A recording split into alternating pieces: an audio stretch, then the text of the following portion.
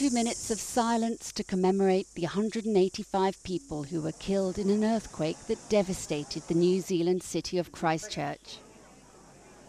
With tears and smiles, friends and family gathered to mark the three year anniversary. The city's mayor gave a eulogy in the Botanic Gardens.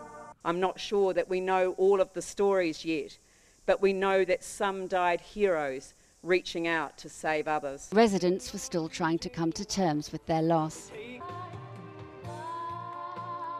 You think it's better each year, and then someone asks a question about an individual, and all of a sudden you realise this. It doesn't, it doesn't go away. On February the 22nd, 2011, much of Christchurch was destroyed when the deadly 6.5 magnitude quake hit. More than 6,500 people were injured.